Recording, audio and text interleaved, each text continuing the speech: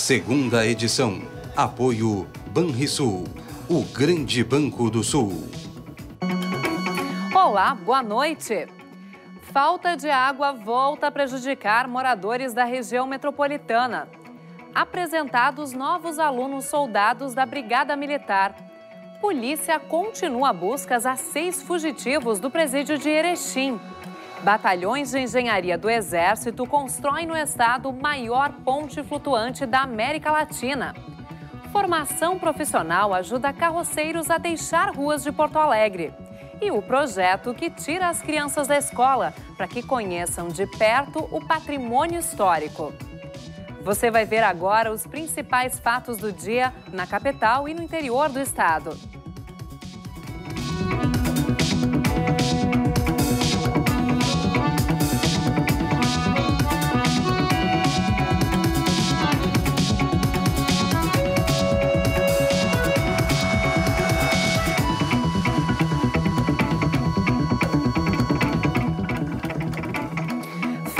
Sem água na torneira em mais de 50 bairros de Cachoeirinha e Gravataí, na região metropolitana da capital. Segundo a Corsan, a causa foi o rompimento de uma adutora. O abastecimento se normalizou ao longo do dia. Mesmo assim, os moradores reclamam que o problema se repete com frequência. Quando viu o caminhão-pipa passando pela rua, Elton não pensou duas vezes. Pegou alguns baldes para garantir um alívio na falta de água. Aqui em casa tem uma senhora com 85 anos, que é minha sogra, que tem Alzheimer. Meu sogro, com 86 anos, está fazendo tratamento de câncer, está com câncer na boca, tem que ter higiene plena. Eu sou cadeirante, e tem a minha esposa e não tem água para fazer as coisas. A gente está se virando com os vizinhos que tem poço artesiano. A casa de Elton fica no bairro Morada do Vale 1, em Gravataí, que estava há dois dias sem água. Na cozinha, a louça suja acumulou. Mesmo problema enfrentado por Isabel, que mora perto dali, no bairro Parque Ipiranga. A gente está assim cuidando o tempo todo, porque até para não faltar para a gente tomar e fazer uma comida, fazer um café, como ele mesmo disse, né? E agora roupa, essas coisas já até nem falo, entendeu? Mas principalmente nas função do dia todo, é banheiro. A falta de água prejudica também os negócios. A família tem uma empresa de tubulação de ar-condicionado que funciona no mesmo terreno da casa. Edgar reclama que é difícil manter as atividades e dar condições de trabalho para os cinco funcionários da empresa, ainda mais porque o problema é recorrente esse mês aconteceu. De faltar água, mês passado também. E, esse, e agora aconteceu, eles falaram de, de estragar a bomba, não sei o quê, deles arrumam lá, depois estragam de novo, e não tem água. E eles colocam previsão, é para voltar às 11 horas, e não volta às 11 horas, colocam para voltar às 7 horas da manhã, não volta às 7 horas da manhã, e assim a pessoa fica enrolando, sendo enrolado. E eu, eu acho que o mais engraçado é que isso só acontece no verão. O desabastecimento em Cachoeirinha e parte de Gravataí ocorreu devido a dois rompimentos de uma adutora que leva água para essas regiões em menos de duas semanas. Segundo a Corsã, são problemas pontuais como esse que têm prejudicado o fornecimento no último mês. Iniciando por um problema na qualidade da água que ocorreu em função de uma devolução de água suja e barrenta para o rio por parte das lavouras ali da, da, da região, seguido depois por obras que a Corsã está fazendo para melhorar o abastecimento daquela região, tivemos que fazer uma parada programada, e recentemente essa, essa adutora rompeu em dois momentos, fruto de problemas pontuais da mesma localidade. De acordo com a Corsã, novos motores e bombas foram adquiridos para a estação de bombeamento de água tratada de Cachoeirinha, com o objetivo de ampliar em 180 litros por segundo a capacidade de abastecimento na região. Reforço na segurança. Apresentado em Porto Alegre o contingente de alunos soldados que, a partir da semana que vem, vai participar do curso de formação da Brigada Militar. Dos 1.300 futuros brigadianos, pouco mais de mil serão destinados ao policiamento ostensivo. O restante vai para o Corpo de Bombeiros. O curso tem duração prevista de sete meses e o contingente deve estar formado em junho de 2017. E a Brigada Militar ainda não conseguiu recapturar nenhum dos seis presos que fugiram do presídio estadual de Erechim durante o feriado da Proclamação da República. Segundo a administração da casa prisional, os fugitivos estavam em uma cela com outros 17 detentos. Mais detalhes na reportagem do jornal Bom Dia. Já era de manhã quando o alerta de fuga foi dado pela SUSEP. Segundo a direção do Presídio Estadual de Erechim, seis presos conseguiram fugir durante a madrugada da última terça-feira, através de um buraco feito no teto de uma das celas. O vão dava acesso a um corredor que era utilizado pelos agentes também para vigilância e que naquele momento estava vazio. A fuga ocorreu um dia após agentes evitarem outra fuga em massa no mesmo presídio, quando descobriram uma banana de dinamite que seria utilizada para explodir a parede de uma das galerias. Há poucos meses, os agentes também descobriram um túnel que estava sendo cavado pelos presos. Este foi o segundo caso de fuga registrado no Presídio Estadual de Erechim neste ano, que está com o dobro de sua capacidade e já passou por duas rebeliões em 2016. Caminhão é usado em tentativa de assalto a banco no litoral norte. O ataque ao caixa eletrônico ocorreu por volta das 5 horas da manhã na Avenida Paraguaçu, em Imbé.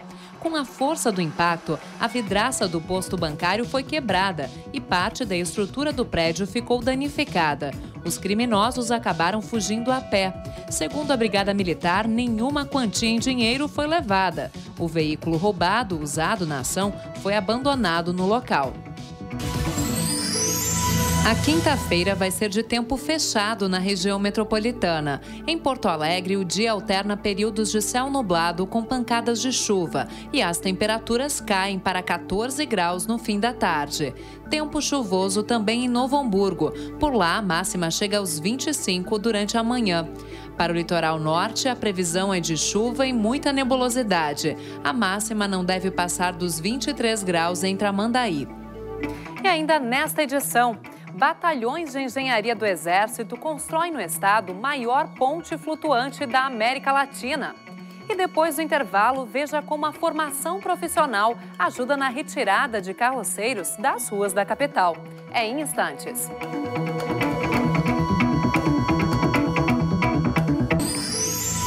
Amanhã pode chover a qualquer hora no norte gaúcho. Na Serra, o tempo fica instável e a máxima não passa dos 21 graus em Caxias do Sul. Em Passo Fundo, o sol aparece pouco. Devem ocorrer pancadas de chuva passageiras, principalmente à tarde. A temperatura cai para 14 graus no fim do dia. Esfria também em Ijuí. Por lá, o tempo intercala aberturas de sol com pancadas de chuva e céu nublado. A máxima deve ser registrada pela manhã, quando os termômetros marcam 23 graus. O deputado Mário Jardel terá seus vencimentos suspensos. A decisão foi tomada esta tarde em reunião da Comissão de Ética da Assembleia. A medida é adotada pelo poder público quando o servidor não é localizado. Hoje, Jardel não compareceu pela segunda vez à reunião da subcomissão processante do Legislativo, em que deveria se pronunciar sobre as denúncias de improbidade administrativa. O advogado de Jardel apresentou um atestado de depressão para justificar a ausência, mas o documento foi considerado inválido pela Procuradoria-Geral da Assembleia. A suspensão de subsídios se estende a todo o gabinete do deputado e permanece até que ele retome as suas atividades. E hoje foi dia de formatura para 44 ex-carroceiros e carrinheiros da capital gaúcha. É a segunda turma a concluir os cursos de alfabetização e profissionalização do programa Todos Somos Porto Alegre. O principal objetivo dos cursos é atender os participantes analfabetos cadastrados no programa, aumentando assim as chances de inserção no mercado de trabalho. De ex-carrinheira a futura auxiliar de limpeza e com diploma de curso profissionalizante. Uma grande vitória para quem há mais de 10 anos tira o seu sustento do lixo. A expectativa é arrumar um serviço para mim com meu currículo aquele certificado ali, largar currículo nas firmas e largar com a roça de mão. Acho que lixo nunca mais agora. Só coisas boas para frente. Mas essa não é uma conquista só da Michele. Outros 43 carrinheiros e carroceiros também se formaram hoje em cursos promovidos pelo programa Todos Somos Porto Alegre. O objetivo é inserir estes homens e mulheres no mercado de trabalho formal, já que a partir de março do ano que vem, um decreto torna ilegal o uso de veículos com tração humana na cidade. Os de tração animal estão proibidos desde setembro. Para a coordenadora do programa, é um caminho de autossustentabilidade. O grande diferencial desse programa é que ele, ele se diferencia dos programas de mera transferência de renda, porque é todo um processo que não é curto de emancipação. O que, que é? Empoderar essas pessoas como trabalhadores reconhecidos, né, que eles realmente estão desempenhando um trabalho. Desde 2012, mais de 800 alunos foram qualificados em cursos como de pintor, auxiliar de cozinha e padeiro. Ao todo, 1.300 pessoas, entre carrinheiros, carroceiros e recicladores, estão cadastradas no programa. Débora é uma das alunas formadas hoje. No caso dela, não foi apenas a conquista de uma profissão como auxiliar de limpeza, mas de um novo olhar sobre o mundo. Me deu a oportunidade de eu vir no Julinho aprender a ler e fazer o curso de, de serviços gerais. Para mim foi ótimo porque eu não sabia o que fazer. Entendeu? Eu achei tudo maravilhoso e gostaria que o povo entendesse nós e pudesse dar oportunidade para as outras pessoas que precisam muito também. Luz mais barata. A Agência Nacional de Energia Elétrica aprovou uma redução média de 16,28% nas tarifas da CEE. A redução faz parte das revisões periódicas da ANEEL e entra em vigor a partir do dia 22 deste mês. Com a medida, a conta dos consumidores residenciais deve diminuir 17,8%. Já para a indústria, a redução deve ser de 13,1%. A companhia atende mais de 1 milhão e 600 mil unidades no Rio Grande do Sul. 12 pessoas morreram e 291 ficaram feridas em estradas estaduais do Rio Grande do Sul neste feriadão. O número é inferior ao do ano passado, quando foram registrados 15 óbitos. Além das estradas, a rodoviária também esteve movimentada.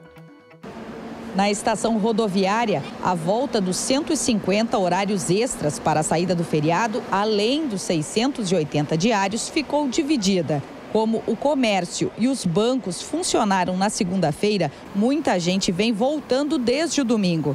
Hoje cedo, o retorno foi tranquilo. Sempre é mais agitado, né?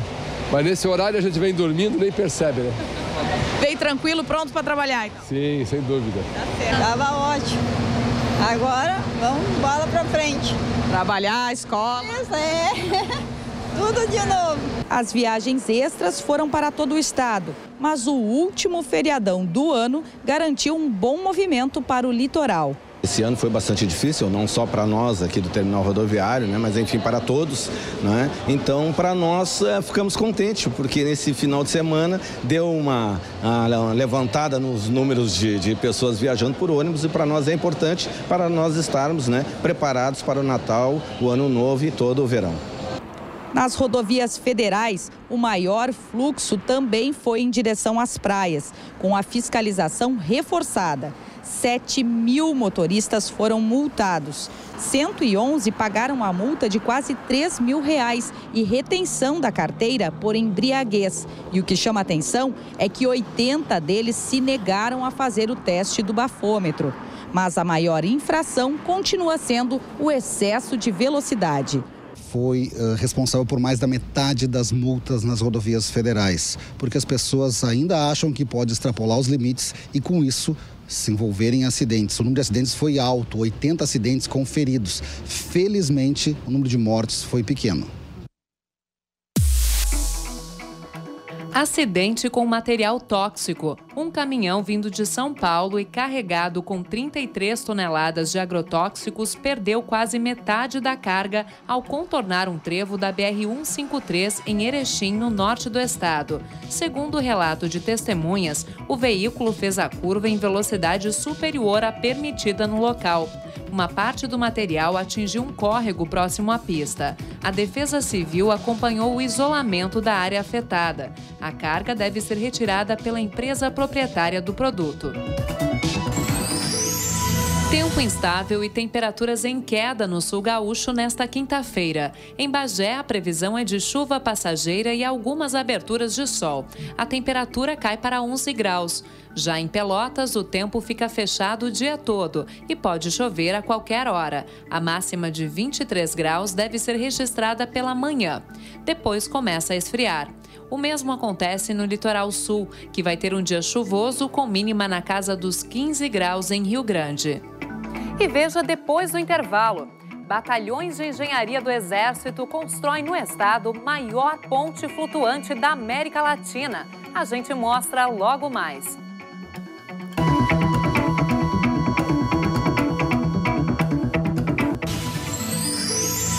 O centro do estado vai ter uma quinta-feira de céu nublado e pancadas de chuva. Em Santa Cruz do Sul, as temperaturas ficam amenas, variam dos 13 aos 23 graus. Em Santa Maria, a máxima chega aos 24 e a previsão é de tempo instável com algumas aberturas de sol. Mesma condição em Cachoeira do Sul, onde esfria ao longo da tarde com o avanço de uma massa de ar frio. A temperatura cai para 12 graus. Vai até amanhã o primeiro Simpósio Internacional de Saúde da População Negra, realizado no Salão de Atos da URGS em Porto Alegre. De acordo com o IBGE, os negros e pardos são pelo menos metade dos brasileiros e sofrem mais com a violência. A mortalidade materna entre mulheres negras também é maior. O objetivo do evento é fortalecer a implementação da Política Nacional de Saúde voltada para esta população a maior ponte flutuante da América Latina foi montada aqui no estado.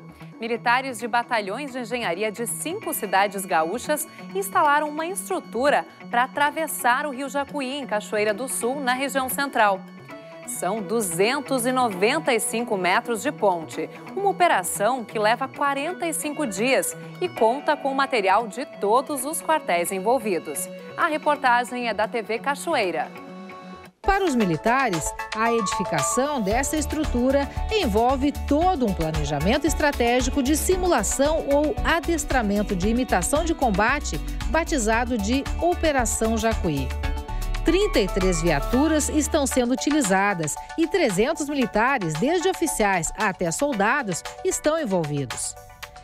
Capitão Lopes é responsável pela elaboração e execução do minucioso cronograma de trabalho eu dou os meios e vejo se cada pelotão está fazendo sua tarefa. Estabeleço a meta diária e vou passando, fiscalizando, ver se o pessoal está tendo segurança, não temos acidentes, se tem o material necessário para trabalhar e se tem mais alguma dificuldade que o tenente está tendo para cumprir sua meta que ele recebeu no começo do dia.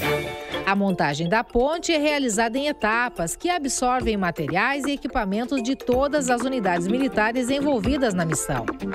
As 15 portadas ou módulos são montados individualmente, para somente no final serem conectados e ganharem a função de ponte apta para a travessia.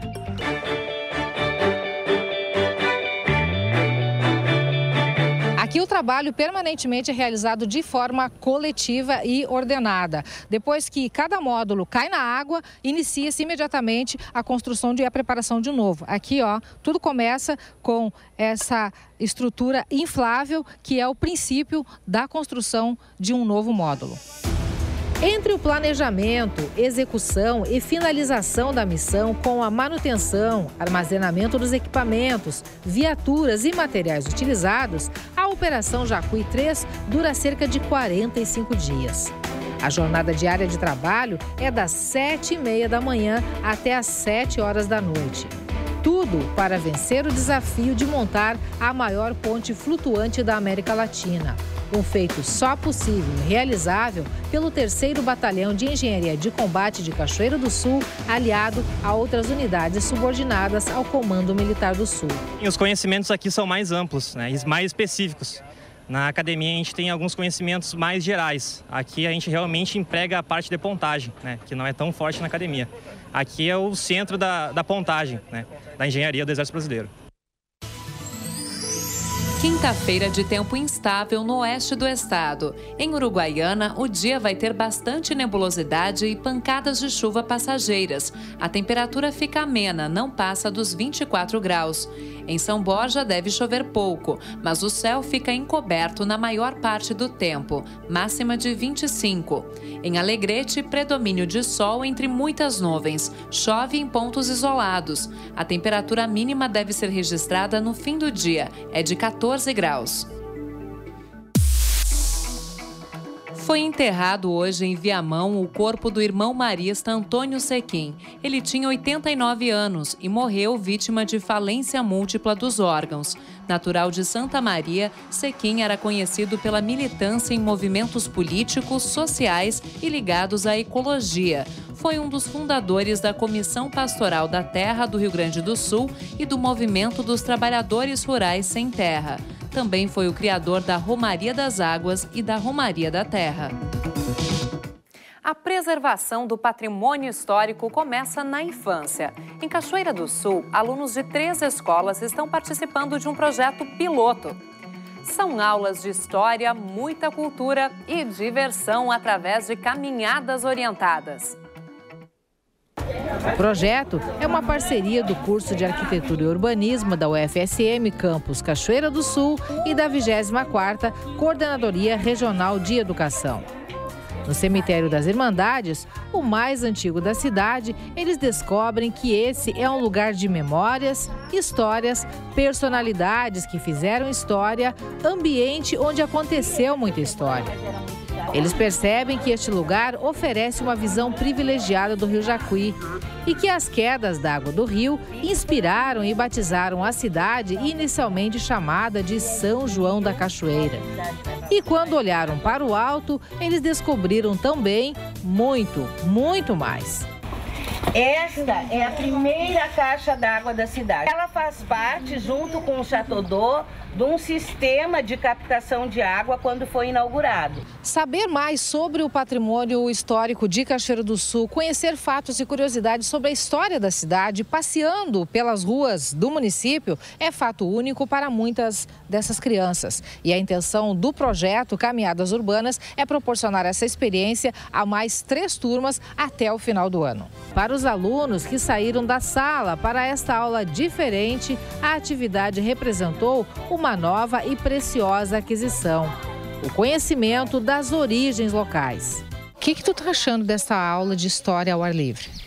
Eu tô achando legal porque a gente está conhecendo mais da nossa cidade onde a gente cresceu. É muito bacana. As crianças, os alunos sempre adoram, porque eles vão a pontos históricos que eles não conheceram uh, não viveram naquela época como nós. Então a gente fica contando e mostrando deta detalhes. Eles se apaixonam, eles se entusiasmam, muitos deles já trazem essas informações porque os professores trabalharam ou em casa. Por que, que a gente propôs tantas etapas, né? É uma etapa pré-caminhada, a caminhada e tem o pós-caminhada, que a gente vai acompanhar com o professor da, da turma como que depois foi o, o fechamento da atividade. Então o professor vai poder talvez trabalhar com alguns termos que a gente lançou. Por exemplo, a gente está falando sobre a alcova, sobre o porão, sobre platibanda, sobre hidráulica, enfim. O professor pode fazer alguma, algum, alguma, algum trabalho nesse sentido.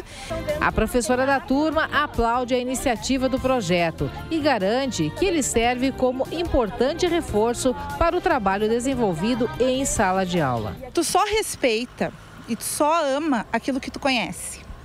Então eu penso que essas crianças, eles não vão permitir que esse patrimônio seja destruído. E assim nós encerramos a segunda edição de hoje. Voltamos amanhã com novas informações. Uma boa noite para você e até lá!